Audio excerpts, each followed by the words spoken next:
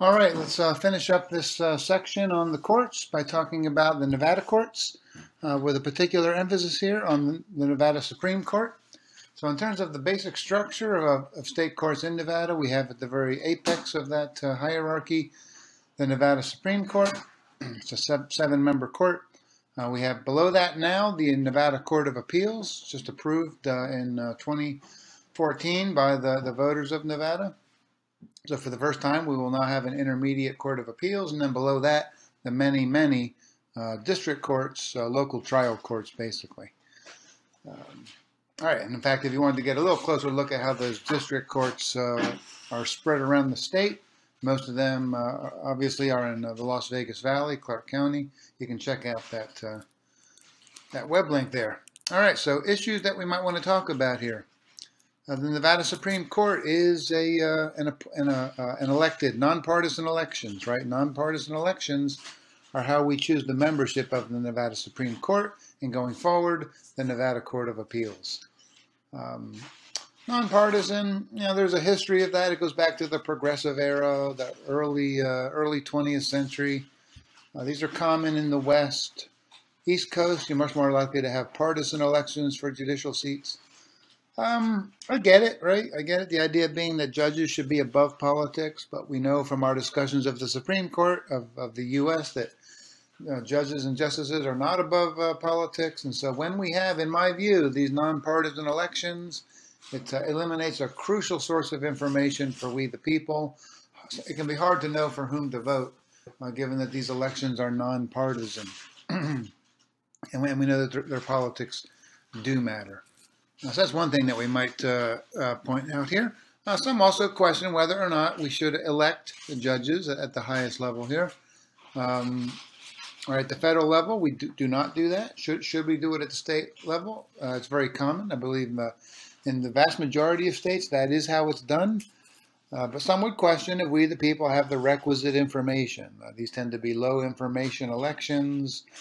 the candidates don't have a partisan label. Uh, there's a lot of things they're not allowed to say under various codes of judicial ethics. Uh, some would argue that uh, making this an elected position is perhaps not fantastic, but it is what it is. And there's there's alternatives that some states use, uh, uh, putting more power in the hands of the governor to uh, to nominate these people, perhaps with some role some role for the state senate. Some believe we should have it done through these judicial commissions. Uh, I would say this though: the evidence is that you the, the, quality of the judges don't seem to vary from one state to the next, regardless of their exact selection technique, be it elections, partisan or nonpartisan, be it a judicial commission, be it gubernatorial appointment. Uh, one issue, though, right, with elections for judicial seats is that uh, these candidates for these positions do solicit campaign contributions uh, they get them from law firms, they get them from corporations, who then may ultimately appear before these judges down the line. So many would say it looks like justice for sale. Uh, there are certainly significant questions about that. Uh, some would say at the very least the appearance of impropriety. Uh, some would say at worst perhaps even the, uh, the, uh, the actual substance of impropriety. That's a definite issue. Some believe that public funding of these elections would be better. Elections, if you want to keep them, make them publicly funded um, to take away some of those uh, ethical questions about uh, campaign contributions. Uh, also worth noting here, these are elected positions at the Nevada Supreme Court and now the appellate court level, and, and of course the district court slash local court level. Uh, now what happens uh, is that when there are openings, when somebody leaves the court before the end of their term and they are uh, what are those? For the Nevada Supreme Court, it's six-year terms. Uh, if, a judge leaves before the end of that term, which is pretty common, uh, the governor gets to nominate somebody to fill that position, and I believe an election has to be held within a year of that appointment.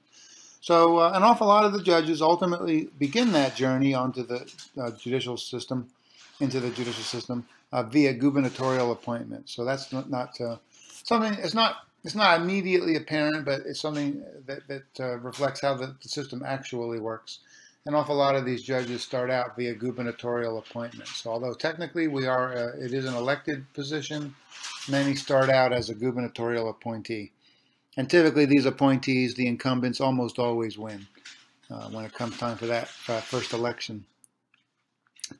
So, in that sense, uh, the, the elections in many cases become a rubber stamp of a gubernatorial appointment. And also, what's happened now that we do have a Nevada Court of Appeals um, to handle the heavy caseload of the Nevada Supreme Court, which was up to, I think, 300 cases a year, which is ridiculous that they had to hear. And so, the Court of Appeals will help with that. How, how do these initial uh, judges get onto the court? I'll post a link here for that. Uh, they get on initially via gubernatorial appointment uh, with some role played initially by a judicial commission uh, that comes up with candidates.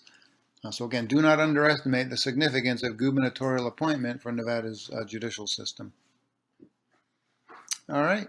Um, I think that's really, uh, that's what I wanted to say. So I think with that, we'll be moving on now. Next section of the course before exam number three, public opinion.